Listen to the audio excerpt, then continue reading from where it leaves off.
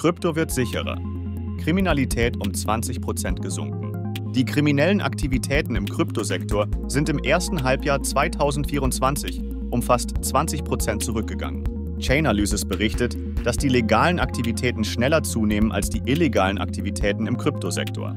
Trotz des Rückgangs gab es einen Rekordzuwachs von Ransomware-Angriffen, deren Schaden auf rund 460 Millionen US-Dollar gestiegen ist. Chainalysis erwartet, dass 2024 das bisher umsatzstärkste Jahr für Ransomware-Zahlungen sein wird.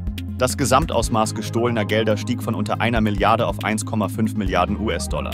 Der Anstieg ist teilweise auf den Preisanstieg von Bitcoin zurückzuführen, der 40 Prozent des Transaktionsvolumens ausmacht. Insgesamt zeigt das Jahr jedoch positive Entwicklungen im Krypto-Ökosystem, so Chainalysis. Diese Meldung erschien zuerst auf unserer Website.